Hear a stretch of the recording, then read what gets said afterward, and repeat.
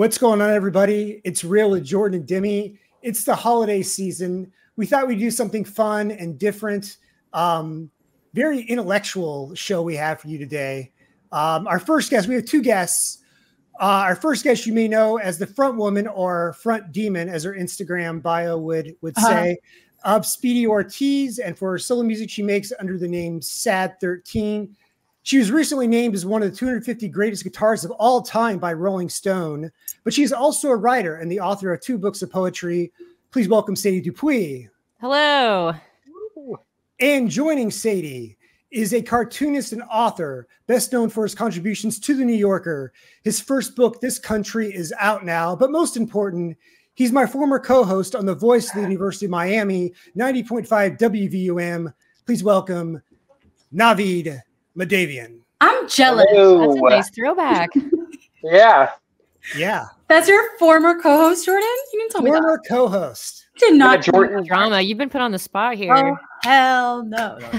Yeah, the X, the X is in the house. You have to do a co-host off. I, I don't I don't know if he does the same thing with you, but we weren't allowed to talk in between the shows so that we wouldn't like ruin any potential content. Right, right. You want to keep it fresh. That's wise because I feel like I frequently get on a podcast with a buddy and we chat for like 10 minutes and we're like, ah, probably should have saved that for when we were taping. right, right. Yeah. Or well, you say too much. I think yeah. Me and Victoria. I have a friend Victoria. She's an actor. We've had her on the show, and we once were like, yeah, you know, we should do a girls podcast. Let's just try it out. And we spent an hour just talking about our deepest, darkest secrets. And I was like, yeah, this isn't gonna work. We- We're gonna we're gonna expose ourselves into you know what I'm saying. So yeah. well, we'll get into the deep, dark secrets later on in the show. Yeah, I'm holding all those for like minute 30. Right. but first, we do want to. Do we do want to. Uh, I do want to note that that uh, um, Navied and Sadie are loosely linked by the New Yorker. Of course, Navied contrib- contributes to the New Yorker as a cartoonist, and Sadie, an illustration of Sadie, an illustrated version of Sadie, was once on the cover of the New Yorker. So there's the loose connection. But the the purpose of this episode, guys, was to talk about books and your favorite books and that kind of thing. Sadie, I'll start with you because you are the bookworm. You are the queen of stacks on your on your nightstand. You know that's kind of what you're known for. Um, what did you notice this year in terms of uh, books that you read, trends in literature, that kind of thing? Like, was it a good year for books this year? I'll say this is it's the most books I'll have read in a single year this year. So I guess that means and I tend to focus on newer books not only because I have enough author friends at this point that I'm always like 100 books behind in the advanced reader copy department, but um yeah, I I'll, I'll have read probably 130 books by the end of the year and as someone who doesn't, you know, review books, I'm not a bookseller, uh, that's that's quite a lot.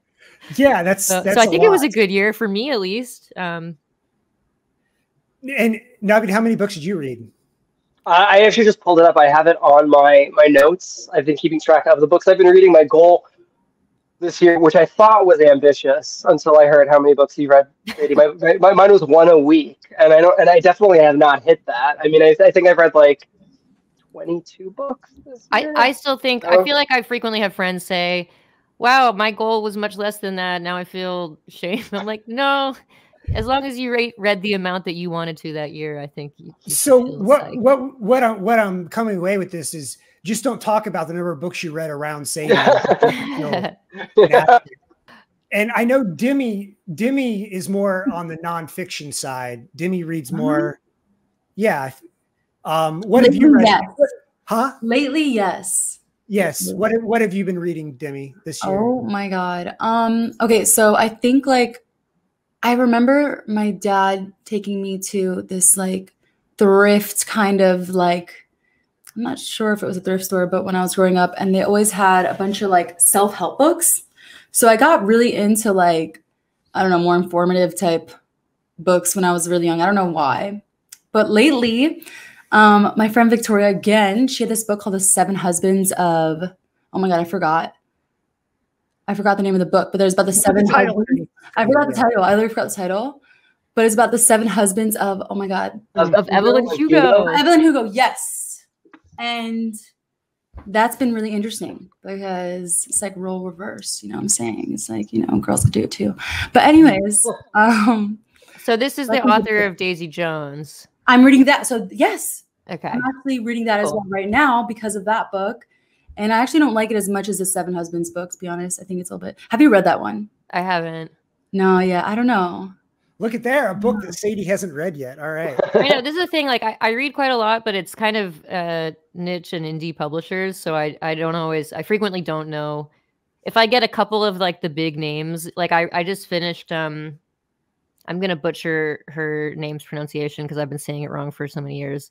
Uh, Elif Batuman, I think, uh, the Turkish American author. She she published a book a couple years ago called The Idiot. Um, obviously a Dostoevsky reference, but it's a really great novel that was like the big book a few years ago. I just read it this year, so The idiot. maybe I read like two two like big novels this year, B- big in terms of like bestsellers. Navied and Sadie, you both have written books, published books. How much do you pay attention? I know um, we'll give we'll give uh, Navi props. It's showing up on best end of year lists. Uh, this country Oh, is. yeah. How much do you pay attention to that? Like w- the way uh, your books are received among the press. Do you care? Like obviously you care because it affects your sales and stuff. But Yeah, I mean, I, I mean, I don't know what it's like for other artists, but everything I do, it's just for like attention, and I just, I just want, like, I want people to like me. So I mean, like, as soon as like even like the Goodreads reviews were were coming out, like I was, I, I mean, I still like every other day I'll just like check to see what random people on the internet are saying about it. But yeah, I mean, I think I check way too frequently to see um, whether people like like my book. I think I'm, on the, I'm on the other side of the spectrum from you, and I feel like having music as my primary career has kind of like prepped me to not look at Goodreads. Um, once in a while, I do, and I kind of laugh. People will be like, "This is inaccessible poetry." I'm like, then, then, like read Mary Oliver, like. Uh, but um, I don't know. I try not to put too much inaccessible poetry. I feel like poetry is inherently like so what you want it to be as a poet. I don't know. I just yeah there's such a range of styles and Yeah. I, I think maybe because some folks come to my book because they know me as a songwriter they think this will be some easy lyrics. Like my books aren't Yeah. that easy. Uh i'm definitely not a good like like first poet or first 10 poets. Um so i don't really look at goodreads. And i'm very as a as a sometime and former journalist i am very appreciative of press that i get asked to do and music writing but i try not to put too much stock into the critical stuff even though it's like a nice boon when it when it turns out well because i want to continue making stuff that isn't isn't directed by that kind of outside influence of like uh, attain the highest score yeah. just not to yeah. say that's not a valid like thing to to worry about but um i think i've kind of accepted that all the stuff i work on is sort of in like a cult like a indie sphere where it's, like it's not gonna figure. You're an indie, a figure the indie community or something. Yeah. yeah i'm not gonna make a you know a billboard hit so Shout. One book I want to read though. Have you? Are you guys familiar with um? Wow, my brain's crazy today. But Julia Fox. Julia- Oh, her new her new memoir. Yeah, that's something I really want to read. And I actually found out that Spotify has the audio version of it. And I I went through like half of chapter one and I was like, I don't want to do that. Like I want to I want to feel it. Like I want to read it. Like I feel Was, like was she? like- Did she narrate the audiobook? Is Julia Fox? She narrates it. Yeah, that's See. That's, that's when I think the audiobook is what you should opt for. When when people read their own work, I love isn't that that. cool? on an audiobook. Yeah. But she was a dominatrix for anyone who doesn't know. Uh, she Who hasn't been There's a lot of stuff. She model, actress, like muse, everything. So more than a me. Yeah, I, I do enjoy a memoir. I, I I remember when I was I did a lot of the David Sedaris audio books, audio recordings when I was, you know. Um Navi, we, we didn't we kind of glazed over this. Could you explain to the people what your book, This Country, actually is about? Yeah, it's about my time as a dominatrix and then a muse. Um, it's a, it's about my three years that I spent in very rural Idaho. Uh, moved there right after Trump was elected, November 2016. Um, so like, let's move to the middle of nowhere. Said no Middle Eastern American ever, but that's just what I did. And so it, it chronicles those um, three years from 2016 to 2019, um, and all of the shenanigans that uh, I got up to. Some of which you might expect moving to like super rural America. Like the nearest town was 20 minutes away and it had 500 people. Oh, And the no. county's the Wow. size of I know, yeah, and the county's the size of Connecticut, but only has 4,500 people. So like very Where can you like locate me geographically in Idaho? yeah, I, uh, like central Idaho. Uh, like, do you know Sun Valley or Ketchum? I do. Yeah. Okay, yeah, so it's like over the mountain Okay. from from from there. Yeah. Um, We have a of Idaho in a big, uh, Yeah, big circle. yeah, just in like middle of nowhere in the middle of of Idaho. Yeah, and it's it's a graphic memoir too. I I, Yeah. I don't. Yeah, we should note that it's not a a novel. Um, have you thought about Navied? Have you thought about doing a, a straight text book, or is Yeah, are yeah, but- intrinsically a cartoonist that Yeah, I mean, but I feel like that would be like learning a whole new skill. I mean, like when I, I mean, most of what I read, I don't read that many. I mean, this year I read more. I think just because I had some friends' books who had come out, um, and my book came out. But usually, I don't read graphic novels and memoirs, um, and so I can really appreciate that people can like describe things with words. Because like I don't have to. I could just like draw the mountains. I can just draw a person, and I don't have to describe them. Um, so I definitely appreciate people who don't have to draw things. Um, but I don't know. I don't know if I would at some point. well, we'll wait for it. Wait for it. And Sadie, have you ever thought about writing fiction instead of poetry, or have you written fiction instead of poetry? Yeah, I mean, um, let's see. I, I mean, I had to take some fiction courses when I was in an MFA, you know, a decade ago, um, and maybe like January two two years ago, I did an outline for a novel, um, which weirdly came out of. I don't think I can say for what IP, but I got asked to pitch a graphic novel for um like a fairly known uh franchise the um Avengers. i don't think i can say but it's not the avengers Oh, okay. um but i liked some of the idea it didn't go anywhere uh the editor left uh but i liked some of the ideas i came up with and i was like i think i can reconfigure this to a story that does not include well-known characters. So I, I have an outline for a novel but then we got so sucked into making this album that came out this year and i was on book tour for the last book. Um i don't even think i think the last book was like a, at the in the long wait between turning it in and it getting printed. So uh maybe that'll be something i can work on next year. Yeah. And would you would you would you keep it as a graphic novel, or would you? I don't think Write it out. so. Um, just because I'm a such slow, I'm so much of a slower collaborator than I am uh, go into my hole and work for a lot of hours. But when I was a kid, I, I read tons of graphic novels. I, I still read a fair amount, and that was sort of my initial medium. And I, I liked making comics when I was when I was young. uh, it's really strange. I tell people my one of my really good friends from uh, uh, Navi knew- I knew from undergrad and grad school. One of my best friends from grad school is Malaka Gharib from NPR, who Mm. um, Yeah. who's written who's written two graphic novels. Uh huh. So it's really bizarre that my argue or like two of my best friends from college both became graphic novelists.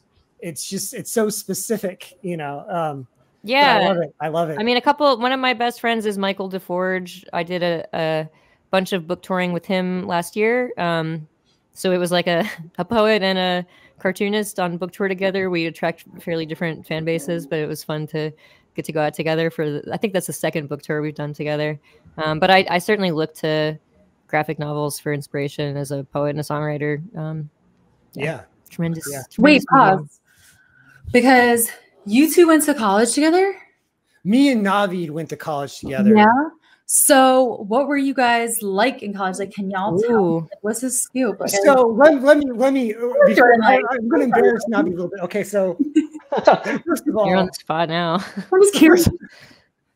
so first of all, um, Navied has always been the snob that he is today. He's always been that, um, but he just dresses the Either part more now than he used to.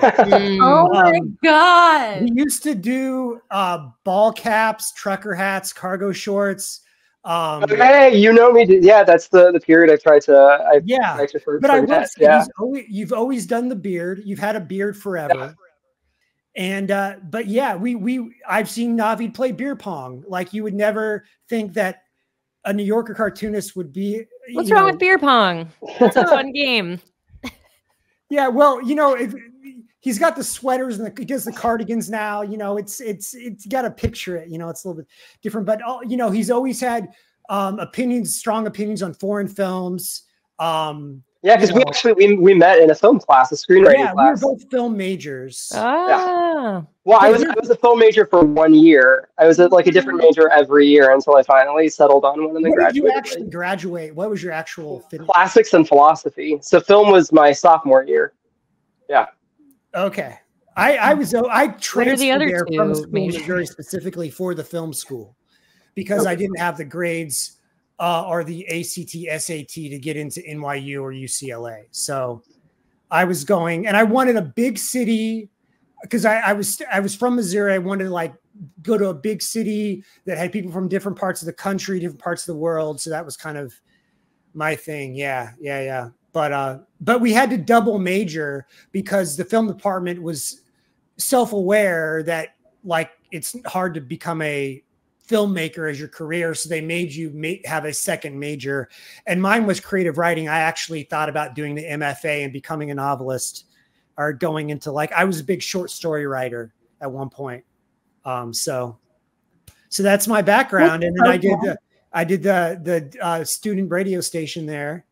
Um and uh and we were wedged in between um there was a bollywood show before us and after us was sports so we were wedged in between bollywood and I remember that. After after you left, I had I, I got my own show, but my show was from the one to four in the morning slot, and I think that's where I good was. slot, good time slot yeah I definitely had to do the. Uh, this next song was requested when there were no requests because nobody was listening to my 1 show. a.m.? in the morning.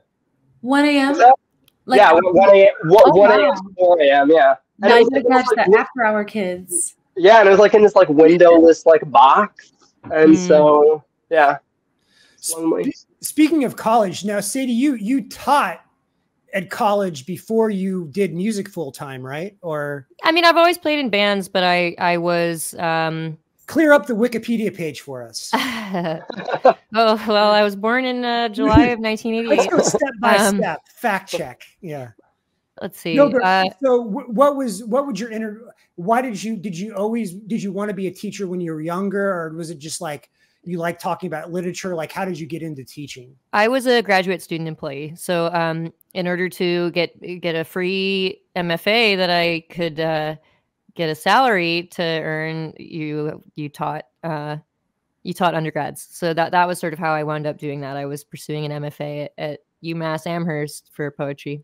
Yeah, I Um, did Com 107 at Syracuse. Com Shaping- one. what? Com 1 was Introduction to Communications. I was the TA. but I Ah, gotcha, yeah, gotcha, yeah, gotcha.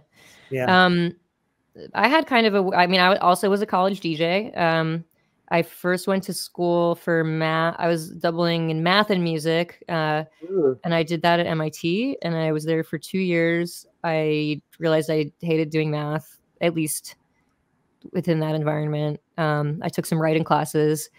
This is kind of cool. Uh, what if I what if I drop out? Um, so I dropped out. I was doing freelance music writing uh, for a couple different publications. I wound up going back to school somewhere else with a focus on writing because all the um, magazine jobs I wanted required you to have finished your undergrad. Um, by the time I finished the undergrad, all the magazines I'm applying to are folding, or the editors who've thrown me some freelance work and are interviewing me are getting fired en masse. Uh, it's not a drastically different climate than it is today, except um, now it's come for all the websites.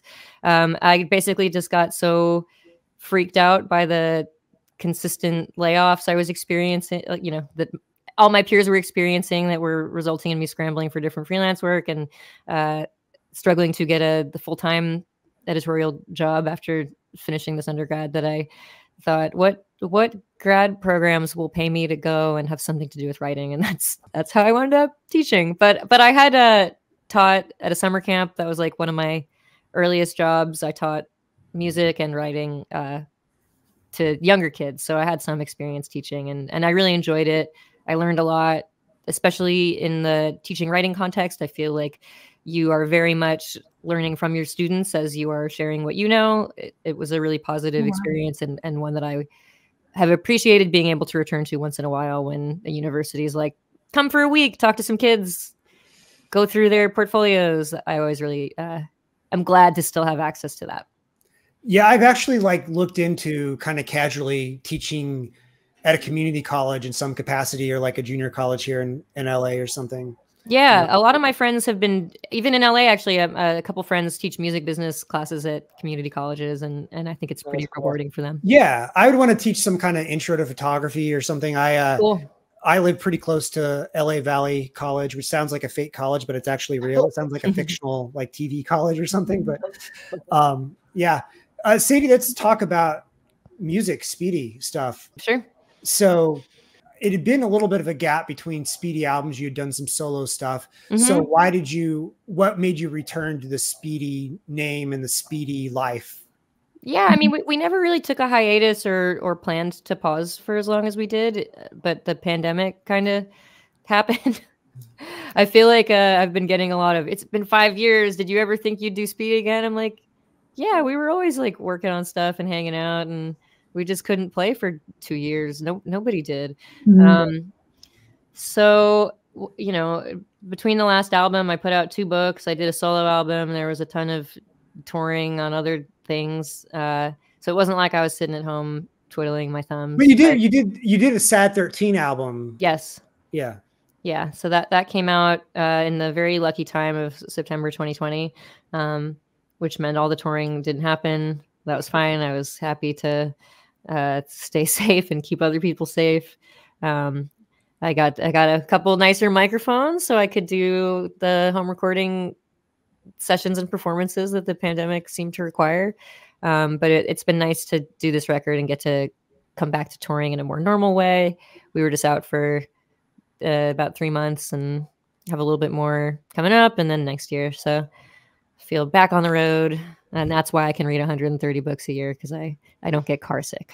Oh wow! I can't. Can you read in the car? I can't. Yeah, I don't like reading in the car. That's exactly why I can read so many books because I, you know, yeah, I can't sit on the computer for for eight hours a day. Right. Um, I car, can read in the subway can... and I can read on a plane, obviously, but like there's something about the moving the the light coming through the window. I don't know or something. I think your experience is more common than mine. I'm very very lucky. I feel like I wouldn't tour this much if I couldn't read in the car.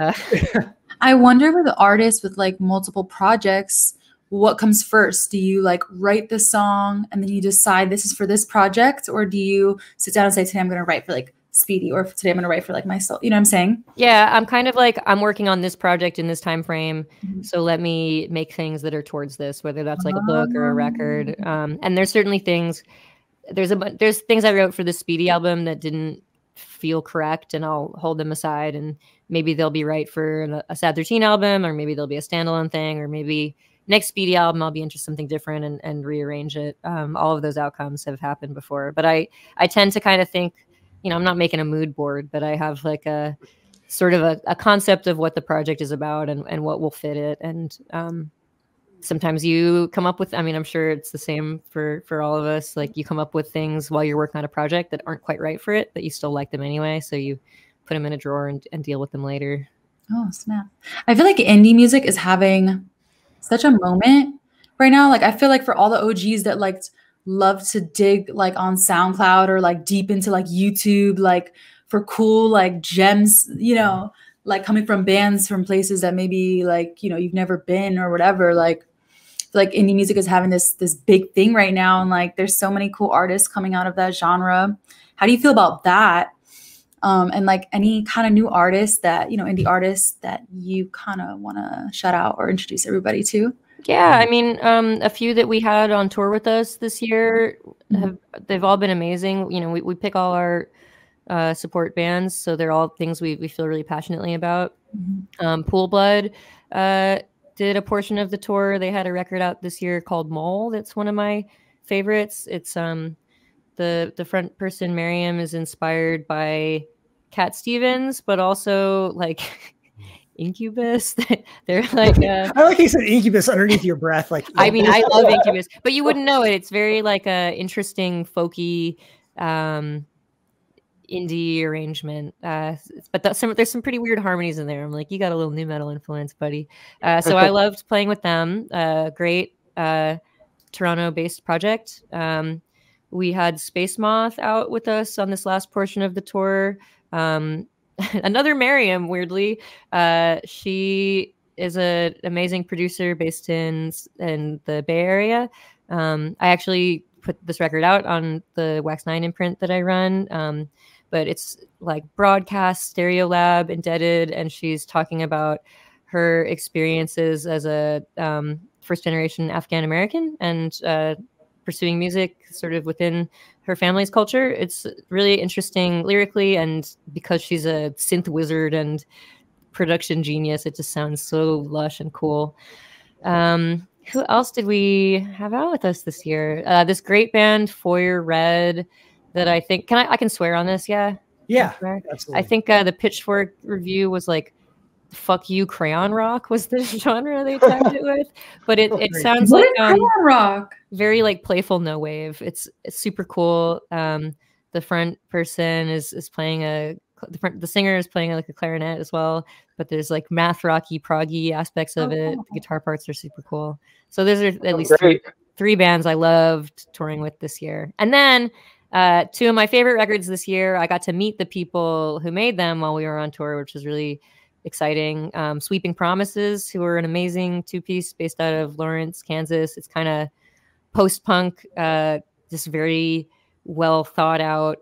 Um, it, it sounds like it's recorded straight to like a cassette. It's it's very intentional lo-fi but but Mhm. uh, 3D production. little tape hiss going on. Yeah, it's like Yeah. if you hear it, the drum sound is just like you, you haven't heard anything like it in, in a few decades. It's really a cool choice. And then this punk band from Nashville, Snooper, I got to meet uh, while we were out there, and I love their record too. So there's three I know and, and two I don't really know. So I'm not- it wasn't a full whole list you gotta check out. You know, I'm gonna go back to the episode and be like this. Yeah, what Navi? What have you What have you been listening to? Because I know you're obviously in music. Here's the pressure Yeah. where you have to look cool. Like say a cool band. know, yeah. I know mine's easy because Um, I was like, I just saw these people, so they're kind of in my mind. Yeah. yeah, uh, all the people I've been listening to, I have not got to meet in person. Um, I don't know. I'm just thinking about like my my Spotify Wrapped. Um, I think like the the albums that I tend to like listen to something on repeat, and so like one of my top five songs was I mean like King Gizzard and the Lizard Wizard. I love. I mean they're like too prolific, so I I catch like one out of every six albums. Yeah, they've got like They had a- 40 albums or something, right? Yeah, I mean, it's like it's it's just it's too many. So like occasionally I'll like catch one and I love it, and then like I'll listen to something off of it on loop. So they have the song Dragon. That's like I don't know, like this ten minute like thrash metal epic song, and I listened to that song I think like 120 times this year. Um, uh, who else? Um, Billie Marten. I've been I've been into. I think one of her songs uh, was like my number 11 song. Um, and then I'm also like I don't know, I'm like a, a, a Lana stan, so I think like her album from this year was I think like five of the songs was in like like top ten um, from from from this year. What's your favorite Lana Uh, album? Um, I mean, I really liked her new one. You know, like Norman fucking Rockwell is good, but then like her new one, uh, the, what's it called? With like the black and white, like with the white dress. That one. Uh, no, no, no. Um, hold on, let me pull up the name. Did of you it. know there's a tunnel under ocean? That- Boulevard? Avenue. Yes. Oh wow. Yeah, Taco. the la- the last song on there was my number one song this year, Taco Truck V. Really? uh, yeah, XVB. I listened to. I think Spotify told me 142 times this year. Just like it was like Wow. on and on. Yeah, and then I've also been listening to. I don't know if you guys know Kino.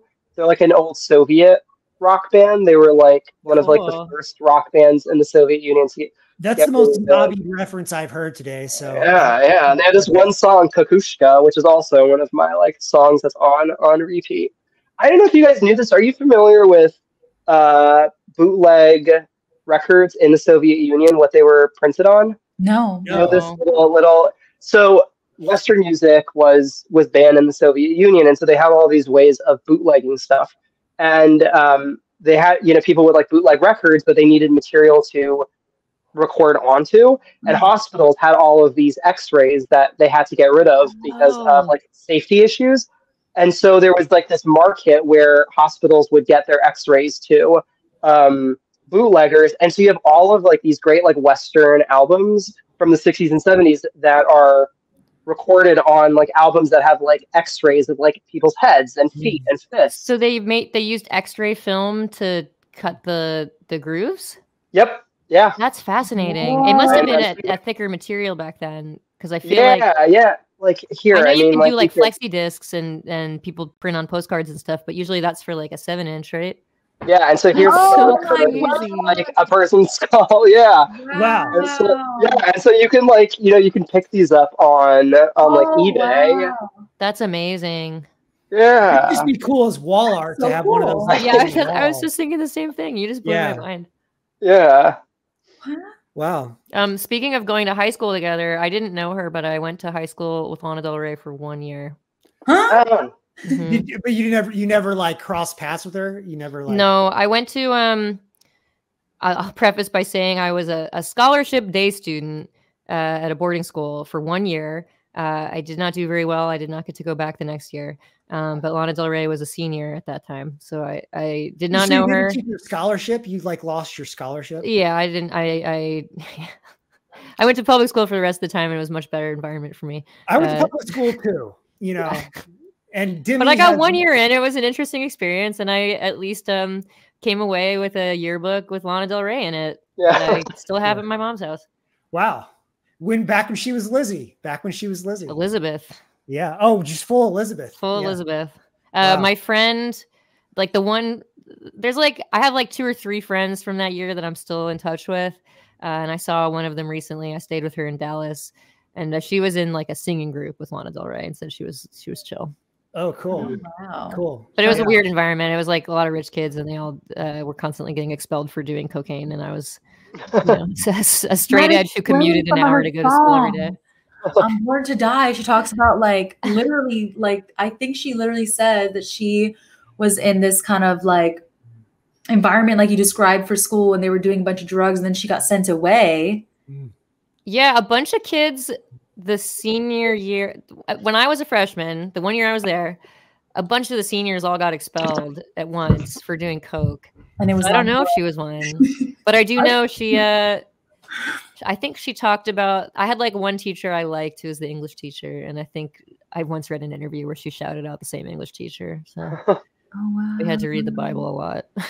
Oh my I'm god. Jewish. Yeah, I, I didn't. Yeah, I totally had the the the that not was was not my experience at all. Um, it was just the one year, but it was it was memorable. Yeah, yeah, yeah. It's funny because I'm from this part of Kansas City called Raytown. That's like not the worst part, but it's the kind of part where when you mention you're from, people are like ah, ah.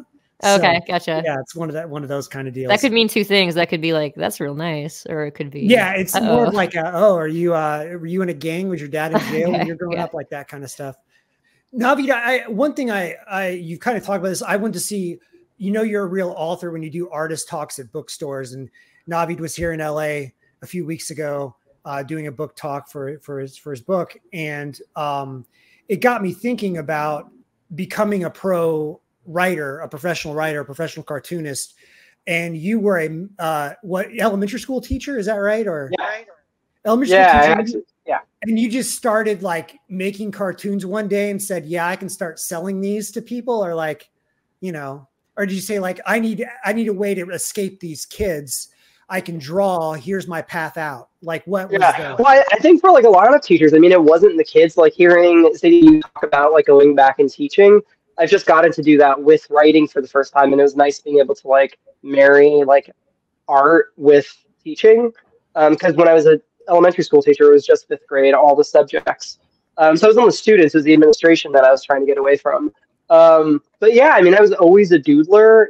Don't have a background in in the arts, and so part of the book moving to Idaho was wanting to become an artist. Being able to own land there is like really cheap. tiny off that off the grid house. And so like for that year, I like put in like the ten thousand hours, and I don't really know why I chose New Yorker cartoons as like the medium of expression.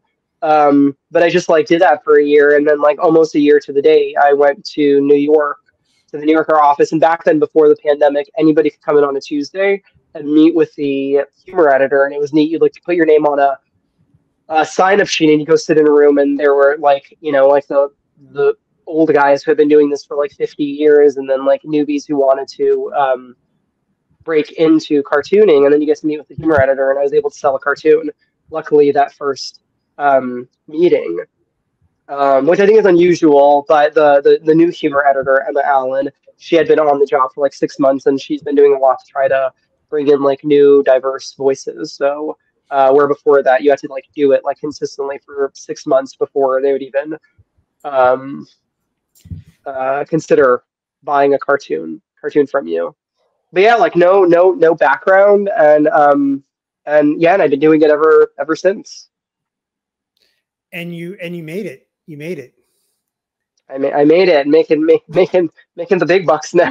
what's, what's are you working on on book number two? Yeah, yeah. I mean, like I'm also I'm working on book number two. I'm trying to trying to figure. What do air quotes for working on book number two? Like what? What's the thing is, like I mean, I'm looking at right now. I have this window open, and in the back there's like the the slew of tabs that I keep, the new docs that I keep opening up. Where I'm like, this is where I'm really going to put my thoughts in for the for the new book, and I try reorganizing what I've written into into something for for the proposal. Um, but I don't. I mean, I don't know what it's like for for for poetry, but for um for the the last book, I had I knew what like the beginning was, I knew what the ending was, and then I knew what all like the beats in the middle were going to be, and then I just had to figure out like how to tell that story. But for this one, it's also memoir, but then a bit like more amorphous. And so trying to like nail down like, well, what is the you know like what's the arc, what's the story, what's the conflict, is proving to be a little bit a little bit harder. Yeah, one thing I, I it was funny to me was that your first you, the book out now was originally mostly focused on your parents' immigration story from Iran to the US and instead you made it about yourself. and and what's funny is like if I had done it with my parents, they wouldn't have cared. They'd have been like, "Yeah, it's great. You told your story." But like you said, your parents were actually a little peeved that they got cut out of this. Yeah, I mean, yeah, yeah. And then they both asked for the book to be independently dedicated to them, and then they just got an acknowledgement in the in the back. But yeah, initially it was supposed to be about them. And then I was like, you know what's more compelling than the story of two Iranian kids in exile from their home country? Moving to Idaho on a romantic like yeah. exactly. Uh, but yeah, I, I had spoken to a friend of mine, another cartoonist and writer, Amy Kurzweil, um, when I was thinking of and sketching out what that story about my parents would be. And she was like, Well, where are you in this story? People are going to want your perspective and I think it makes sense. Um, and there are lots of stories. I mean, like Persepolis comes to mind, right? Stories of you know Iranian immigrants, um, but they're told from the usually from the perspective of the, the person. And I don't show up for like seven years after that story begins, so it made sense to like focus on me. But I still do get to some of those themes in the book. I mean, it's not as like you know serious as being in exile, you know, but there there there, there is still the like being an Iranian immigrant in this new place, uh, conservative, like people culture shock. Um, and so even though it's not about them, I still I think got to some of the same same themes. And they do still make an appearance in the in the book. Made a cameo. Well, it's funny. I was actually um, a page, a section of Malaka Gharib's first book, and I got cut out of my section got cut out because um, I, I went to her I went to celebrate Christmas with her one year, uh, Filipino style. So I did a Filipino Christmas with her, and she did a whole like a page or something about when she brought her white friend Jordan to Filipino Christmas, uh, but it didn't make didn't make the final cut. Um, I mean, that's actually how I describe you to everyone. Also, my white friend Jordan. my white friend Jordan. um, uh, um, Sadie, we I, I do I do want to ask about the greatest guitarist thing. What was your reaction when you made the list? Did you know it was coming? Was it a surprise? Tell me about that. Yeah, I mean, I didn't know it was happening until uh, someone tagged me in it. Wow. Um, That's how you know.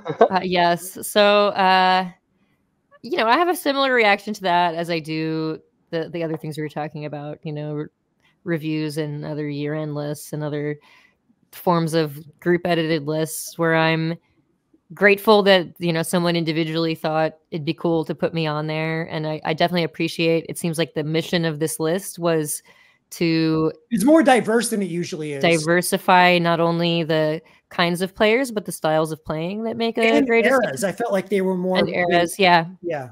there's plenty of guitarists on there who are not as like quote unquote technical in like a, a conservatory setting uh i feel like i i align a little bit more towards the like music theory background. There's a lot of guitarists that are more experimental self-taught on the list which i think is really cool and opens up the instrument to a lot more kinds of playing being perceived as um you know powerful and and proficient. Um but yeah I, I was grateful to see like the overall changes that were made to that kind of list because it, it tended to be older guys uh guys white 60s guys and that- 70s yeah that era. Yeah. I so think to be on a list with you know uh so many of the the women who inspired me on guitar mary timony for example liz phair um to see some of my contemporaries and friends on the list you know ellen kempner of palehound brittany howard um pj harvey like i feel like Wow. her guitar playing is not spoken about but it's really interesting um you know people using the guitar as a compositional tool rather than like as an athletic tool and uh, also like do rhythm cool. guitarists, primarily rhythm guitarists, do they deserve to be on there even though they can't shred? You know. I mean, they probably can. They, they maybe can, and that's just not. I say this as someone who doesn't really play rhythm guitar, but uh, you know, plenty of rhythm guitarists can absolutely shred. You know, uh, that's just not the the function they're playing and the the project they're known for. So I I thought that was a really cool endeavor. Um, I don't take a ton of stock in it personally because I'm just like, oh, cool. Like, uh, I see, you know. I, I bet I can guess who put me on this list. That's awesome that they like it. It means about as much to me uh, as like when a I'm going to say something that means a lot to me. Um, when we play a show and I meet like a teenager and they say, "This show tonight makes me want to start a band," or "You came through here two years ago and now I'm in a band and maybe we can open for you next time." Um, that's like a really meaningful thing to me that that someone saw my style as something that that empowered them to work on something and and that that means a lot to me and it means about the same as being on a list like this because it means someone saw my style and thought it was cool and it meant something to them. Um i don't really the canonization of stuff like that is like so arbitrary and gets yeah, I, I, know, I, know, I know lists are kind of arbitrary, but I think specifically the Rolling Stone list, the best albums list and best guitarist lists are kind of like standard-ish. those are big of- and and what i'll say is i hear a lot from family members that i don't hear from very often when i make it onto lists like that so i'm i'm hearing from all kinds of family members i haven't heard from in, a, in quite a New few family years. members. New Uh, family members. know you had. Hey, I got this investment opportunity. People think you're rich all of a sudden. you're the list. yeah. Yeah. yeah yeah you get on a rolling stone list it comes with a bonus right Oh man. Yeah, I do want to. I Demi Demi doesn't like to talk that much about her own music on this show, but but I do appreciate Demi's guitar playing. I she Demi does a cool like percussive thing, like the kind of slit style, like chick, chick like the word Cool. you know, like. And so I like I appreciate that, you know, because because when Demi Demi came up in a trio, bass, guitar, drums, there was no rhythm, there was no lead, so Mhm. had to do both, you know. Uh, but yeah. Oh, All George right. also says that you're a like guitar pedal kind of like wizard. Mm, if you'd come in this room, come in this room. You guys aren't in my house. Uh, if you'd seen this room yesterday, all I've acquired a lot of guitar pedals in the last year because I've been on tour, and someone comes to the show and is like, "I made this crazy pedal. Like, will you Oh try?" I'm like, "I can't put it on my board on tour, but I will when I get home." So I laid them all out on the table yesterday. I keep all the boxes. I'm like a weird. Oh wow. I, I have. I, I'm not like kind of OCD. I'm like I have diagnosed OCD my entire life, but I've got a If lot of very pick, like, particular things. Do I what? If you could pick three of them that like for the rest of your life. I mean, I probably boring pedals because the stuff on my board is like has to be just y- useful for as many songs as possible to you know play for an hour plus every day. But the some of the ones I got are like a little weirder, and I'm excited to mess with. Um, someone from Alexander Pedals came to the the show we played in Durham. Uh, classic queer rock venue called the Pinhook. Shout out to the Pinhook. Uh. Um, look up who's playing at the Pinhook. It'll be all your new favorite bands. Um, but the guy who makes the Alexander pedals came to the show and had us all test him out. Every single one is doing some weird. It's a delay that is oscillating in time, and also the pitch is unattached to that. You're just making outer space laser sounds in a very melodic way. So those are the things I'm excited to like. I can't use that on the road, uh, but I can use that at home. I can run a synth through it and see what happens and, and get a little experimental. How So many Alexander pedals pedals do you are have cool. on stage with you? Um, my board fits 12. And do you and during the course of a show, how many do you actually do you use all 12? Yeah.